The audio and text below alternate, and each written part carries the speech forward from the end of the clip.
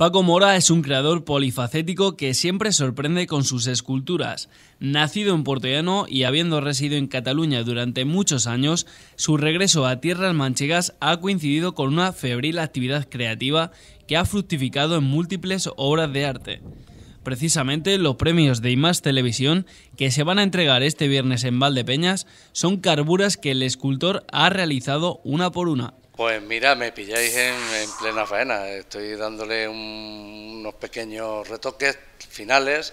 Pues las pátinas ya sabéis que son de, acero y, hay que darle diversas manos pues, para que la pátina pues se consiga una calidad pues eh, con fuerza parecida al bronce o, o herrumbres, en fin. Y, vamos, bastante bien.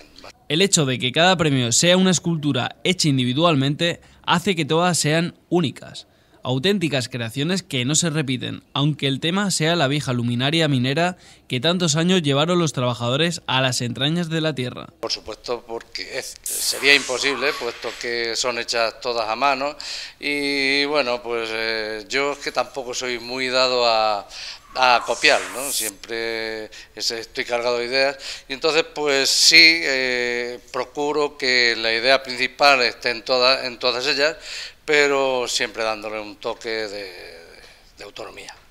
La obra de Paco Mora está presente en numerosos ayuntamientos y colecciones particulares. Reus, Barcelona y Puerto Llano son algunas de las ciudades que gozan de sus extraordinarias creaciones.